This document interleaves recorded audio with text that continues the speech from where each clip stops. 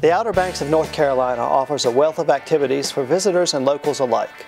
Whether kiteboarding or jet skiing, fishing or sailing, or simply relaxing on the beach, there are any number of things to do all year round for everyone to enjoy. We hope visitors leave with fond memories of their beach vacation, but sometimes the weather doesn't cooperate, particularly when the area is threatened by a hurricane. Hello, I'm John Towler with the town of Kill Devil Hills, and I want to talk to you for a few minutes about hurricane preparedness and hurricane safety, in particular as it applies to visitors and residents of the Outer Banks. Hurricane season in the North Atlantic Ocean typically occurs from June 1st to November 30th, sharply peaking from late August through September.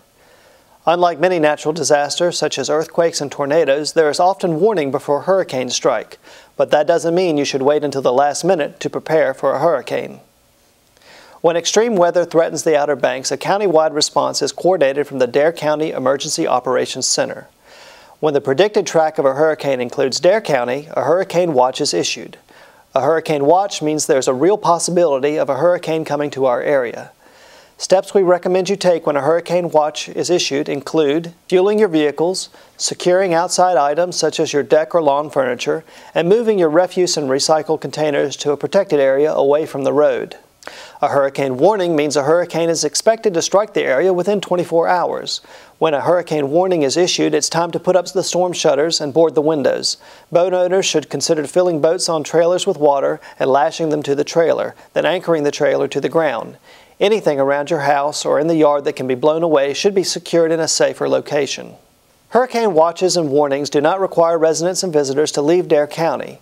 However, a mandatory evacuation is issued when storm conditions are projected to cause the interruption of public safety response, loss of utilities, closure of roads from high winds or water, and threaten the safety of the population in the path of the storm.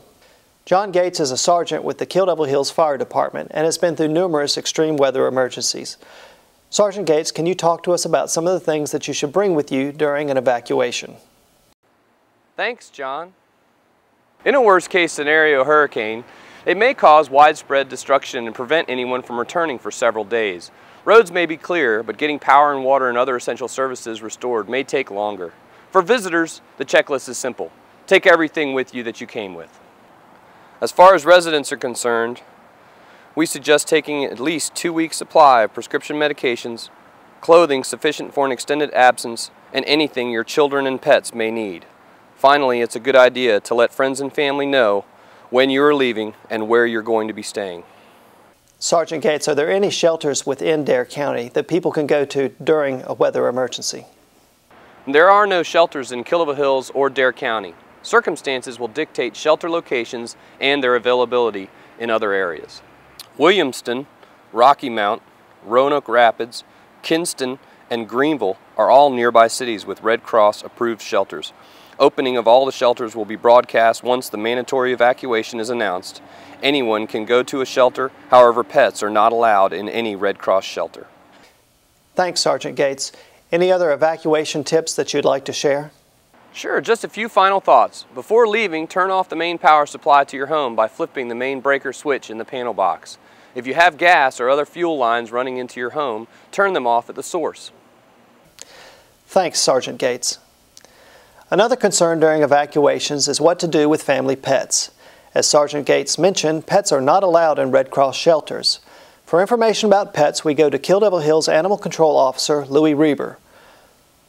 Officer Reber, what special considerations should people make concerning their pets during a hurricane evacuation? Thanks, John. First thing, you really shouldn't leave your pets behind unless you really have no other choice. Um, you'll want to have a collar, leash, for each animal and some proof of ownership in case you and your pet are separated. With packing, being in the car, and going to unfamiliar locations, pets are going to be under a lot of stress during an evacuation. So if you can afford to purchase a pet carrier, it's a good investment. It will keep them confined while you carry out your business. You will also want to have your pet's shots up to date and a current health certificate in case you have to board your pet. Officer Reber, unfortunately, there will be times when people have no choice but to leave their pets behind. What should people do in those situations? Yes, unfortunately, that sometimes happens. If you do have to leave a pet, do not leave it outside to face extreme weather conditions. These are domesticated pets and they do not have the same survival instincts as a wild animal. Your pet may face threats from wild animals, not to mention down power lines, flooding, and contaminated water. Prepare a place indoors where there is tile or vinyl flooring, like a bathroom or utility room. Leave at least three to five days of food and water. Access to water is the most important thing. Dogs and cats can survive days, even weeks or more, without food, but dehydration can kill within a couple of days. Also, it's better to place a pet in an area where they will be above potential flooding. And Officer Reber, what should people do if their pet is lost during a storm? If you lose your animal and you live in the town of Kill Devil Hills, you should check the Kill Devil Hills Animal Shelter. That number is 252-480-4047. You may also want to check at the Dare County Animal Shelter. That number, 252-475-5620.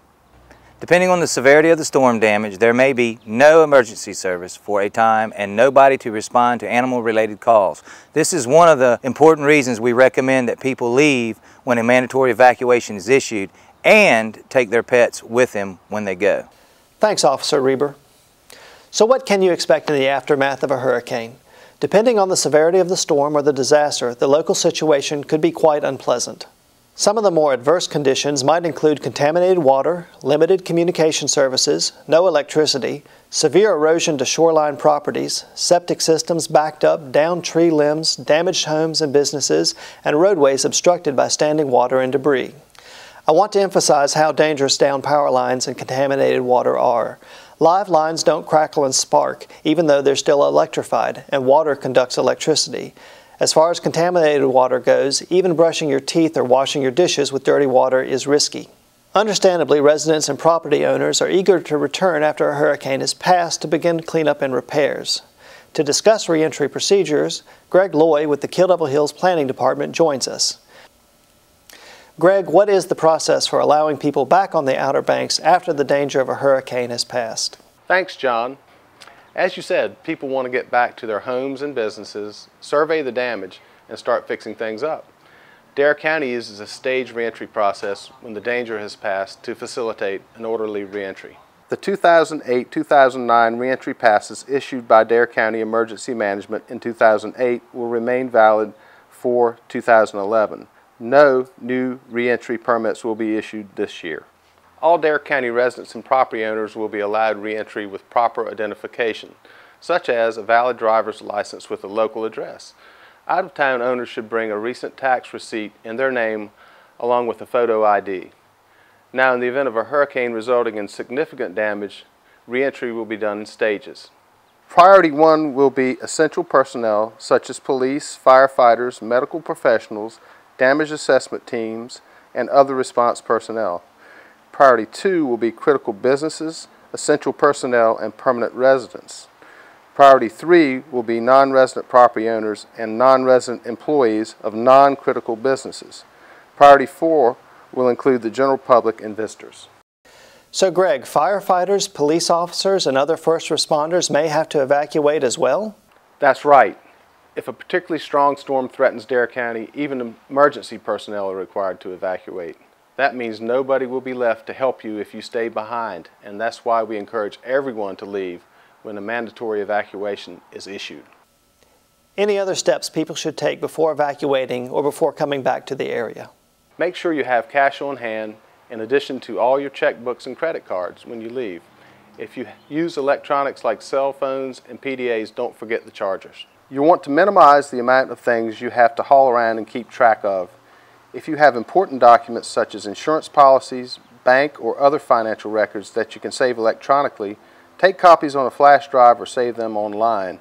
Things you can't copy like passports or original birth certificates, take with you.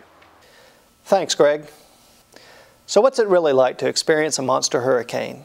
Rochelle Brinkley is a detective with the Kill Devil Hills Police Department, but in 2005 she was working as an investigator with the Washington Parish Sheriff's Office in Louisiana, just an hour north of New Orleans.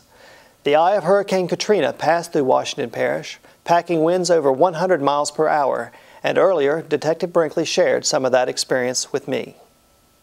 I lived in Washington Parish um, in a little town called Angie, and I lived in a 100-year-old farmhouse and not really close to water I mean, we had a river that was, was nearby, but not where the Gulf of Mexico actually came in. But the eye of the storm did pass right, right over Bogalusa. So, Rochelle, do you think that you were prepared for Katrina? No, not at all. I was not prepared because I didn't believe what they were telling me was about to happen. And I thought it was just going to be a big rainstorm and that they were over exaggerating what was, um, what was indeed coming our way. What was the most unexpected aspect of Katrina?